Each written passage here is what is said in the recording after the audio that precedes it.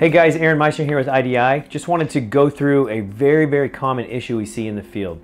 Uh, it doesn't matter what machine you have. In this instance, we're going to be using the Reactor 2 E30, but no matter what machine you have, it's a common problem across every single one of them. And that is a pressure imbalance situation where each of these gauges um, go 500 pounds off from each other. That, that'll make the A side be high and the B side be low or vice versa. So when that happens, uh, there's two things you really, really need to know about uh, to, to help you troubleshoot the issue. First thing is what is not coming out of my gun. All right, most of the time the situation happens when you pull the trigger. Uh, if you get B heavy foam, that means your problem is automatically on the A side. We're trying to figure out what we're missing. All right, if we have uh, A heavy foam, then we're going to be looking at an issue on the B side. All right. The other thing we need to, we need to know is what are the gauges saying? Which one's higher, which one's lower? So a really easy way to troubleshoot this is to have a, a, simple chart.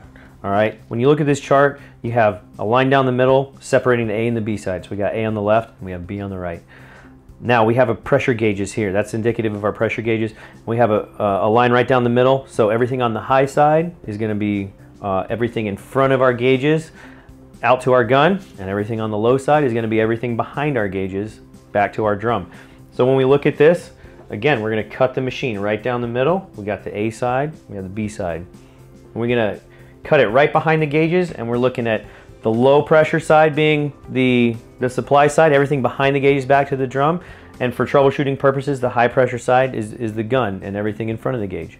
So once we figure out whether we're ISO rich or resin rich, we can actually use the chart and figure out where our problem is. Imagine I'm, I'm resin rich. That means my problem's automatically on the A side. So I'm gonna fold this in half. I'm only looking at the A side of the issue, A side of the system, all right? When, when I walk in the trailer and I notice that my A side pressure gauge is high, higher than my B side, my gauge is pointing at the issue. I'm, I'm looking at a gun issue on the A side. All right, if I walked in here and the A side pressure gauge was lower than my B side, I'm pointing at the supply side and I'm checking everything behind the gauge. So that's pretty, pretty basic. Um, once you get to do it a few times, you're gonna pick it up. You're gonna, you're gonna instantly know exactly where to look. If you ever need anything, feel free to reach out to us. We have a great tech team who's troubleshot this problem a thousand times, almost a thousand times a year, I, I would imagine. So Thanks for, thanks for joining us today. Aaron Meister, IDI Distributors. Hope you have a great one. Give us a call.